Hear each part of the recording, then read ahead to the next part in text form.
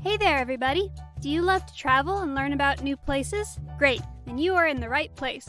Join Jasmine the cat and Gracie the tortoise as they have fun traveling the beautiful United States and learning lots of cool new facts. Hey, everybody! It's Jasmine, the jazzy gray cat, here with my bestie Gracie, the super smart tortoise. Say hi, Gracie. Hello, my good friends. It's Gracie here. Are you ready to explore Idaho with us, our 43rd state? The capital and biggest city is Boise. Boise! What a fun name! Sounds like we're saying Boise. I bet we'll see some great places. You're right, Jazzy, we will. To start off with an interesting fact, the name Idaho is a made up word.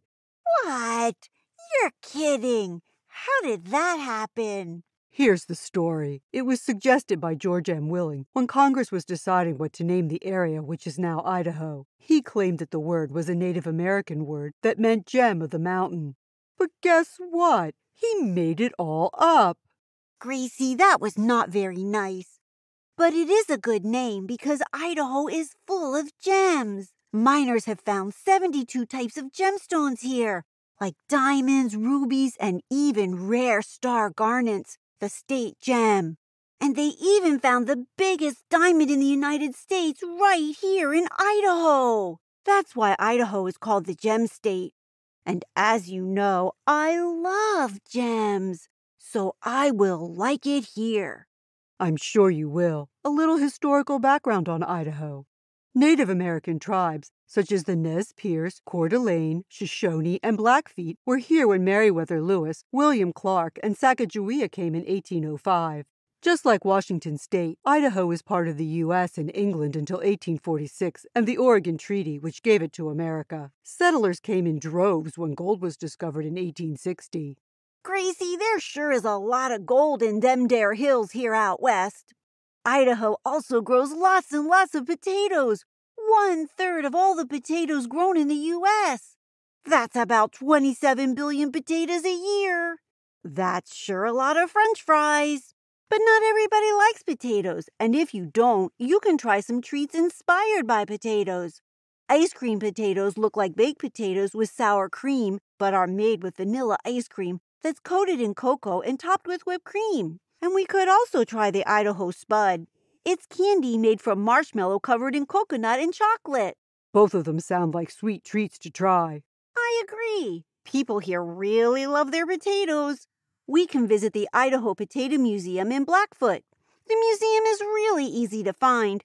Just look for a giant baked potato statue out front. When you're in the mood for a movie, go to the Spud Drive-In Giant Potato for a movie and a pic with a giant fake potato. Those are exciting ideas. Now come on over to the map so we can find Idaho and get some of those treats. Way ahead of you, Gracie. Hey, I found Idaho on the map. It's right here below Canada, with Montana and Wyoming to the east, Utah and Nevada to the south, and Oregon and Washington to the west. Our cute blue camper is ready to go. Onward! I am ready also. Idaho's famous person is the brave Native American Sacagawea. She was born to a Shoshone chief here before Idaho became a state. She was only 16 years old when she became a guide for Lewis and Clark.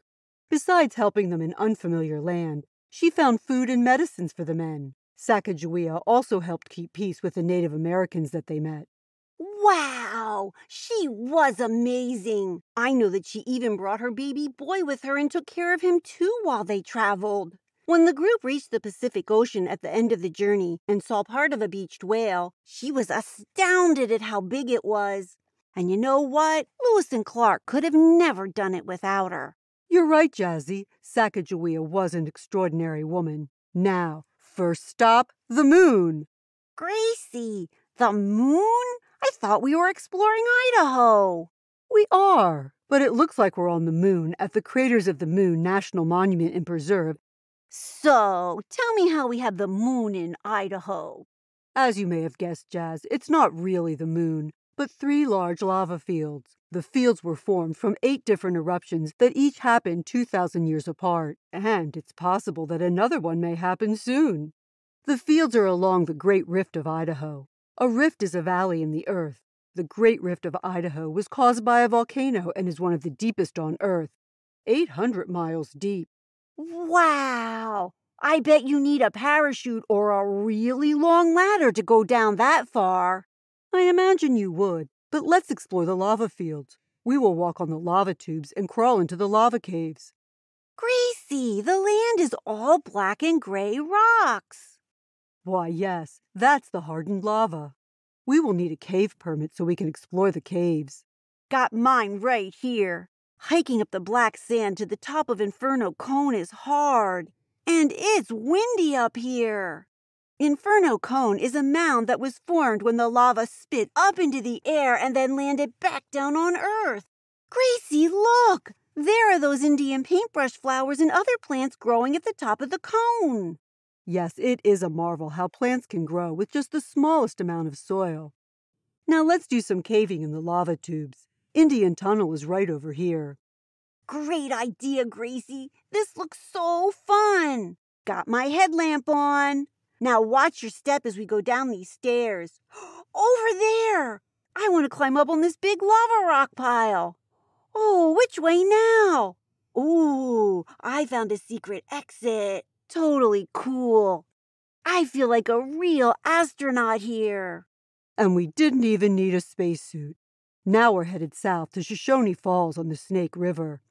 I've heard of this place. It's called the Niagara Falls of the West. The falls are 45 feet higher than Niagara Falls at 212 feet. Aren't they breathtaking? These falls were named after the Shoshone tribe.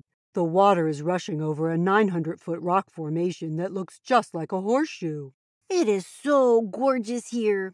Such a nice place to take a break. Even travelers on the Oregon Trail stopped here for a rest. Ooh, I can see people kayaking at the bottom of the falls. Looks like they're having fun. Come on, Gracie. Let's go to the Idaho Potato Museum in Blackfoot. It'll be fun. Absolutely. What could be more fun than learning about potatoes? Uh, I don't know, Gracie. But take my picture with this giant potato statue out here before we go in. I got your good side, Jazzy. This tour is certainly interesting. Did you know the first potatoes came to America in 1621? I wonder if the pilgrims brought them. Look at all the farm equipment used by potato farmers. Oh, it looks like it's really hard work. Let's go into the potato lab and do some experiments. Great idea. What a wonderful place to discover what a potato can do, besides being part of dinner.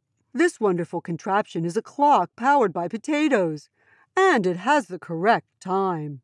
That's interesting. How about a Mr. Potato Head race? I bet I can get mine together first. Yay! I did it! Gracie, you have his foot in his ear. So silly. Well, I'm sure it's much easier to do with opposable thumbs like people have. Who knew potatoes were so riveting? Are you thirsty, Jazz? How about a stop at Soda Springs? Soda? Sounds great. I hope they have grape. That's my fave. I'm sure they will have grape soda, but that's not what you'll get to drink from Soda Springs. Native Americans and travelers on the Oregon Trail also enjoyed the bubbly water that comes from the hundreds of natural springs of carbonated water found here. The pioneers called this place the Oregon Trail Oasis. Oh boy, we will be stopping where the pioneers did. What else do I need to know? Besides the delicious water, we can watch the Soda Springs geyser, the only geyser that has been made by people. Made by people? How is it made? Well, Jasmine, it all started with a swimming pool. About 80 years ago, when drilling to make a bathing pool, water just started shooting out of the ground and the geyser was discovered. The geyser is now set on a timer and goes off every hour for 10 minutes. Gracie, up here with me to get a great view. It's almost time. Whoosh! It's blowing and shooting up 70 feet. Wow! It's just like a super tall fountain. It sounds just like a roaring dragon. I love it. Now let's get some of that water. Ooh, it is bubbly soda water. It's good, but I think it would be even better with great flavor in it. Perhaps it would be, but I am enjoying it just the way nature created it. Great, Gracie. Now it's time to get back in our cute blue camper and head for home. And let's tell potato jokes. I have mine already. What do you get when you put an elephant and a load of potatoes together? I know this one mashed potatoes. Great job, Gracie. Now it's your turn. Here goes. What does a potato say on a sunny morning? I don't want to get baked in the sun. Excellent try, but the answer is what a mashing day. Oh, I get it. A mashing day because potatoes are sometimes mashed. Pretty funny. Now, my favorite place was Soda Springs Geyser and watching the geyser zoom up into the sky. What about you, Gracie? I enjoyed exploring Craters of the Moon National Monument. It was just like going to the moon. Now, how about you, friends? What was your favorite place today? Don't forget to tell someone you love. That's right. Thanks for exploring with us and come back next week for Wyoming. Bye now. Say goodbye, Gracie. Goodbye, my dear friends. Thanks for coming. See you next time. Hey, everybody. Thanks for joining Jasmine and Gracie on their adventure today. Come back next week for the next one. Hello, everybody. It's Gwen here. If you want to know more about the places we visited, just go to our website, jasmineandgracie.podbean.com, and go to the sources page, and you can find out all about the great places that we visited. See you next week. Bye bye.